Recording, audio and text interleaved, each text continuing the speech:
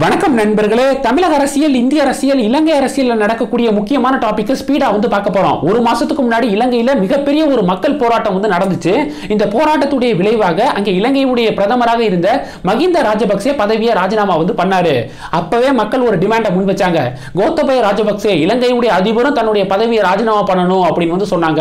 ராஜபக்சேயுடைய குடும்பம் இலங்கை அரசியலுக்குள்ள வரவே கூடாது அப்படிங்கிற ஒரு டிமாண்டை முன் வச்சாங்க. ஆனால் அப்போ கோத்தபய ராஜபக்சே பதவியை ராஜினாமா வந்து பண்ணலை. இப்போ மறுபடியும் மிகப்பெரிய மக்கள் எழுச்சி போராட்டம் அப்படிங்கிறத நம்ம வந்து பார்க்க முடியுது. நேற்று அந்த வீடியோக்கெல்லாம் வந்து பார்த்திருப்பீங்க. அதிபர் மாளிகைக்குள்ள மக்கள் வந்து உள்ள வந்து நுழைஞ்ச அந்த வீடியோ அந்த புகைப்படங்கள்லாம் மிகப்பெரிய ட்ரெண்டிங்கா வந்து ஷேர் ஆகிருக்கு இந்த சூழல்ல இப்ப தமிழக அரசியல் இந்திய அரசியல்ல மிகப்பெரிய விவாதங்கள் என்ன அப்படின்னா சில பேர் என்ன சொல்றாங்க? இப்ப பிஜேபி வந்து திமுக மீது என்ன விமர்சனங்களை முன்வைக்கிறாங்கன்னா இலங்கையில குடும்ப அரசியல் ராஜபக்சேவுடைய குடும்ப அரசியல் காரணமாக தான் மக்கள் இப்படி ஒரு போராட்டத்தில் வந்து இறங்கியிருக்காங்க. இப்ப திமுகவும் தமிழகத்தில் திமுகவும் குடும்ப அரசியல் வந்து பண்ணிக்கிருக்காங்க. அதனால இதே நிலைமை இலங்கையுடைய நிலைமை தமிழகத்துக்கும் வரும் அப்படின்னு பாஜக கடுமையான விமர்சனங்களை முன்வைக்கிறாங்க. அதற்கு திமுக கடும் கோபத்தோட என்ன சொல்றாங்க அப்படின்னா தவறான பொருளாதார கொள்கை காரணமாக தான் இலங்கையில இந்த நிலைமை. மோடி அவர்களுடைய தவறான பொருளாதார கொள்கை காரணமாக இந்தியாலையும் இப்படி நடக்கிறதுக்கு வாய்ப்புகள் இருக்கு அப்படின்னு சொல்லிட்டு இந்த பக்கத்திலிருந்து விமர்சனங்கள் வருது. இதனால சோசியல் மீடியா தமிழக அரசியல் இந்திய அரசியல்ல மிகப்பெரிய ட்ரெண்டிங்கா வந்து விவாதங்கள் நடந்துருக்கு இப்ப நம்ம நியூட்ரலா நடுநிலையா அங்க என்ன பிரச்சனை என்ன அப்படிங்கிறத பார்க்க போகிறோம் இப்போ இலங்கை அப்படிங்கிறது ஒரு நாடா? அதே மாதிரி தமிழகம் அப்படிங்கிறது ஒரு நாடு கிடையாது. இந்தியாவில் இருக்கக்கூடிய மாநிலம். அப்போ தமிழகத்துக்கு இப்படி வருமா? வருங்காலத்தில் அப்படி வருமா? அது பற்றி நம்ம வந்து விவாதிக்க வேண்டாம். இந்தியாவில் அப்படி வருமா? இப்போ வந்து பிரைம் மினிஸ்டர் மோடி அவர்கள் பிஜேபி இந்தியாவை ஆட்சி செஞ்சுட்டு இருக்காங்க அவங்களுடைய பொருளாதார கொள்கை காரணமாக இந்தியாவிலே இது போன்ற மக்கள் போராட்டம் வெடிக்குமா அப்படின்னு சில பேர் விமர்சனங்களை முன்வைக்கிறாங்களே. அதற்கு நியூட்ரலாக பதிலை வந்து நம்ம வந்து கொடுக்கலாம். இப்போ இலங்கையில் முதல்ல என்ன பிரச்சனை அப்படிங்கிறத நம்ம தெரிஞ்சுக்கணும். என்ன பிரச்சனை அப்படின்னா அந்நிய செலாவணி கையிருப்பு அப்படிங்கிறது சுத்தமாக குறைஞ்சு போச்சு. அது என்ன அந்நிய செலாவணி கையிருப்பு அப்படின்னா இப்போ பெட்ரோல் டீசலை வந்து நம்ம வந்து வாங்கணும் அப்படின்னா டாலரை கொடுத்து வந்து நம்ம வந்து வாங்குவோம். அதே மாதிரி இலங்கையும் டாலரை கொடுத்து பெட்ரோல் டீசலை அவங்க வந்து வாங்க வேண்டிய சூழல். ஆனால் அந்நிய செலாவணி டாலருடைய இருப்பு வந்து அவங்க கிட்ட கிடையாது. அதன் காரணமாக அவங்களால பெட்ரோலையும் டீசலையும் வாங்க முடியல. பெட்ரோல் டீசல் வாங்காதனால இங்கே வந்து லாரிகளுடைய ஓட்டம் வந்து கிடையாது.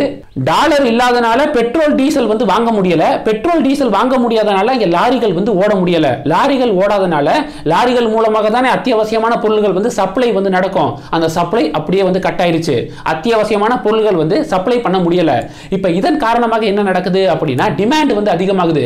டிமாண்ட் அதிகமானனால அங்க லோக்கல்ல இருக்கக்கூடிய பொருள்கள் இருக்கு பாத்தீங்களா? அதனுடைய விலையெல்லாம் ராக்கெட் வேகத்துல வந்து அதிகரிச்சிருச்சு. இதுதான் அங்க வந்து இலங்கையில நடக்கக்கூடிய மிக முக்கியமான ஒரு பிரச்சனை.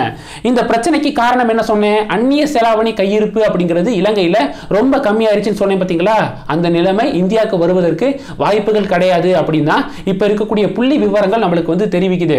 காரணம் என்ன அப்படின்னா அந்நிய செலாவணி கையிருப்பில் இந்தியா உலக அளவில் உலகத்தில் இருக்கக்கூடிய நாடுகள் நூற்றி தொண்ணூத்தஞ்சு நாடுகளில் இந்தியா நாலாவது இடத்துல இருக்கு அந்நிய செலாவணி கையிருப்பில் அப்படிங்கிற ஒரு புள்ளி விவரம் வந்து கிடைச்சிருக்கு. முதல் இடத்துல சைனா ரெண்டாவது இடத்துல ஜப்பான் மூணாவது இடத்துல ஸ்விட்சர்லாந்து நாலாவது இடத்துல நம்ம இந்தியா வந்து இருக்கு. எவ்வளோ அந்நிய செலாவணி நம்ம கிட்ட கையில் வச்சிருக்கோம் அப்படி அப்படின்னு பார்த்தீங்கன்னா அறநூறு பில்லியன் அமெரிக்க டாலருக்கும் அதிகமாக நம்ம வந்து கையிருப்பில் வந்து வச்சிருக்கோம். அதாவது அந்நிய செலாவணி நம்ம கிட்ட வந்து இருக்கு. இப்போ இருக்கக்கூடிய நிலவரப்படி அஞ்சு லட்சத்தி எண்பத்தி எட்டாயிரம் மில்லியன் அமெரிக்க டாலர் அளவுக்கு நம்ம கிட்ட வந்து ஃபாரெக்ஸ் வந்து இருக்கு. இதே நம்ம பாகிஸ்தானை வந்து கம்பேர் பண்ணலாம். பாகிஸ்தான்ட்ட எவ்வளவு ஃபாரெக்ஸ் கையில் வச்சிருக்காங்க அப்படின்னு பார்த்தீங்கன்னா ஒன்பதாயிரத்தி எட்நூத்தி பதினாறு மில்லியன் அமெரிக்க டாலர் அளவுக்கு தான் அவங்க கிட்ட வந்து ஃபாரெக்ஸ் வந்து இருக்கு. நம்ம எவ்வளோ அஞ்சு லட்சத்தி எண்பத்தி எட்டாயிரம் மில்லியன் அளவுக்கு நம்ம கிட்ட வந்து இருக்கு. இப்போ பாகிஸ்தான் வந்து உலக நாடுகள் பட்டியலில் எத்தனாவது இடத்துல இருக்காங்க இந்த ஃபாரக்ஸில் அப்படின்னு பாத்தீங்கன்னா எழுபத்தி ஏழாவது இடத்துல இருக்காங்க. ஆனால் நம்ம இந்தியா நாலாவது இடத்துல இருக்காங்க.